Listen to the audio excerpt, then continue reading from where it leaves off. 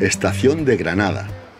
Una soleada mañana de febrero de 2014. Está entrando el tren de media distancia que une Sevilla con Granada y Almería.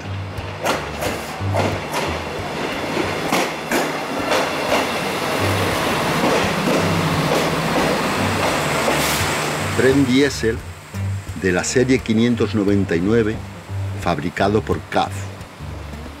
Tiene una potencia de 1528 kilovatios y desarrolla una velocidad máxima de 160 kilómetros hora.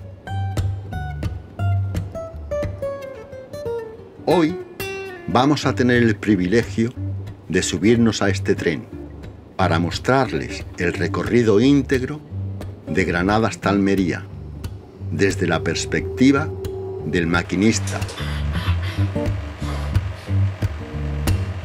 Un trazado de algo más de dos horas de marcha y surcado por este potente vehículo, que nos irá mostrando un horizonte peculiar y de extraordinaria belleza. Espero que lo disfruten.